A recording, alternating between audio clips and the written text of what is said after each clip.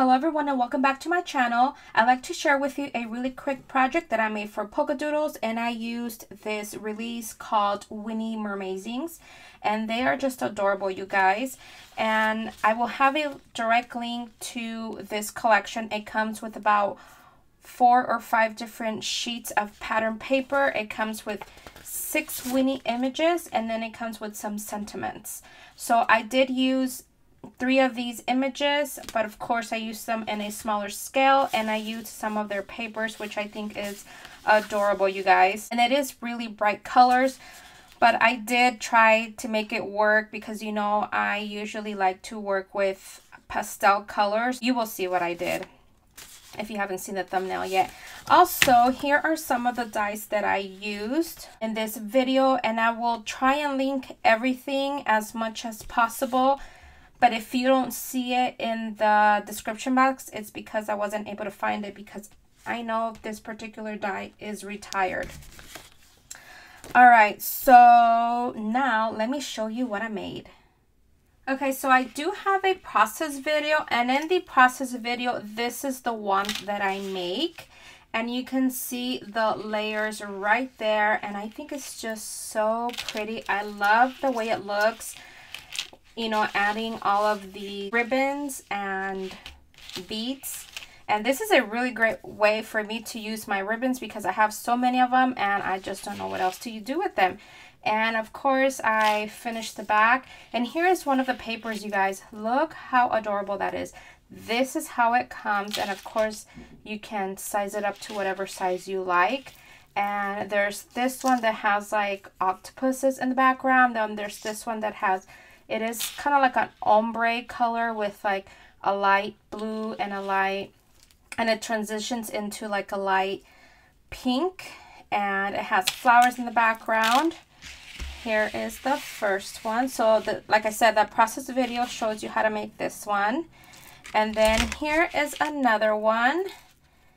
And look how cute she is. Now this one on this die cut, I added this pearl trim and then on each of the of the corners of this star I added a bling piece.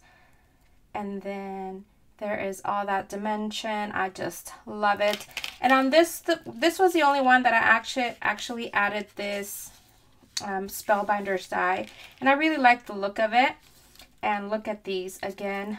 There's the back. All the backs are the same same pattern paper because I really really like that pattern paper but if I would have used it in one of the rosettes, you would have not been able to tell what that looks like.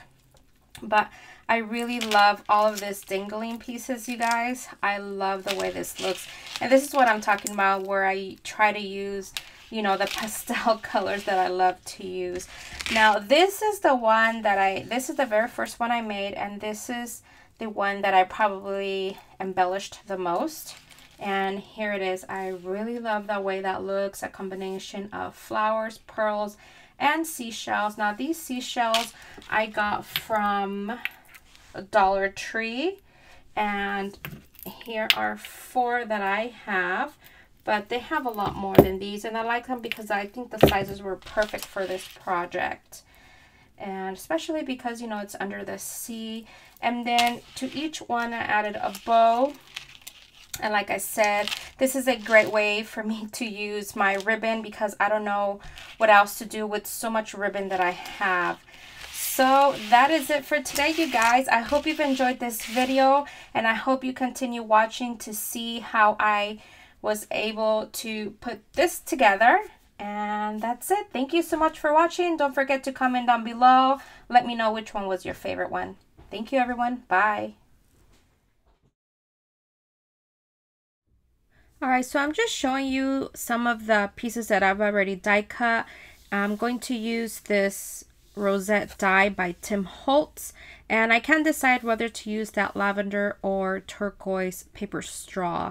And from this Sizzix die, I used that smaller one. Now I'm going to get this die cut piece, the one with the Winnie image, and I'm going to add 3D foam dots to the to the back of it and I will adhere that with hot glue because I don't really trust the adhesive that it already comes with it. I don't know if you can tell, but that lavender paper is pearl and it is just gorgeous.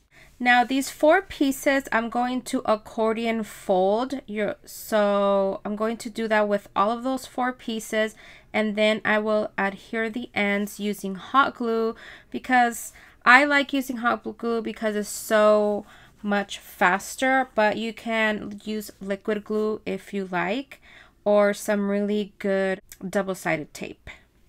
And then after I'm done with that, I will adhere the two ends together again using hot glue. Now I'm getting a scratch piece of paper. Um, I didn't really have to do this part if you don't want to, but I just I just did it anyways. Now this is a four inch embroidery hoop and this is what I'm going to use kind of like to guide me on getting a perfect circle because I didn't want my circle to be kind of wonky. So that's what I use it for and you will see that I will use it again. So it is a perfect circle I think and then I'm going to do the same thing with these two pieces. I'm going to accordion fold them, adhere them together using hot glue. This die is from Tim Holtz and I think it's just called Rosette. And then adhere the two ends together and now this time what I'm going to do is I'm going to get that embroidery hoop, going to take the center of it off. You will see, and I will also take off that screw on the top.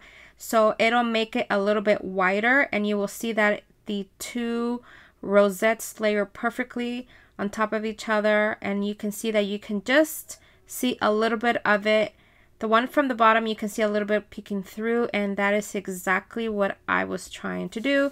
I didn't want it to be too big. So I got another scratch piece of paper, added a lot of hot glue, and there you go. Oh my gosh, I think it looks so perfect. Now I'm going to adhere this on top of that bigger one, try to center it as best as I can, and that is it with that part.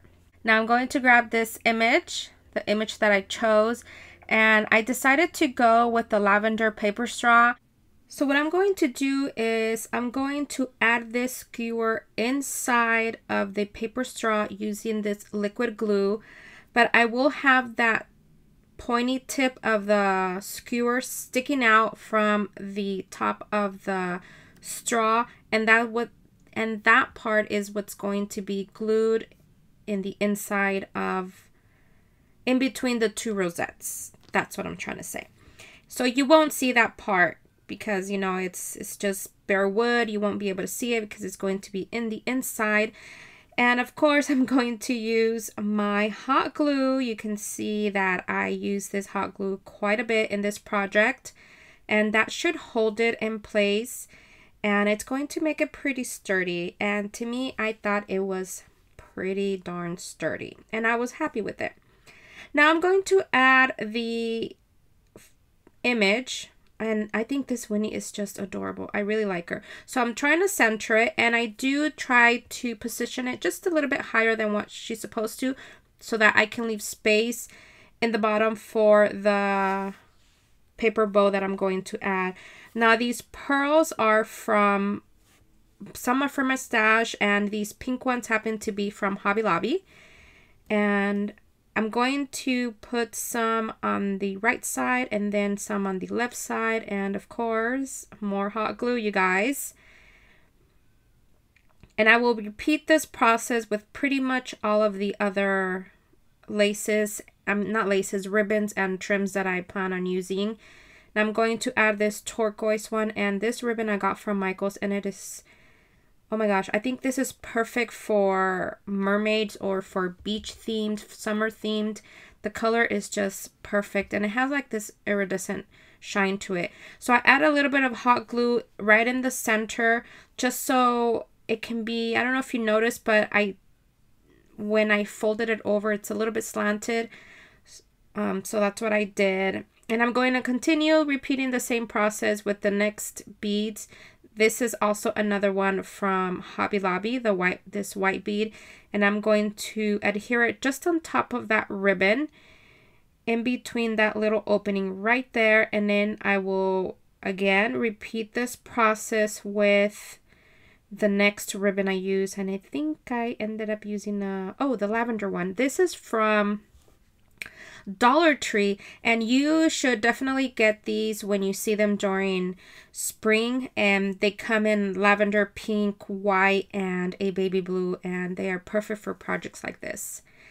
And oh my gosh I just love the way they came out. Now these paper bows are from Michaels. I got them years ago and I finally get the chance to use them. I haven't used them at all so this is my first time using them look how beautiful that looks I just had to add more pink to my project and to finish the back again you know that all my backs are the same and I chose that pretty paper background I just love it it's like a scene with all of the mermaids. Look how beautiful that looks.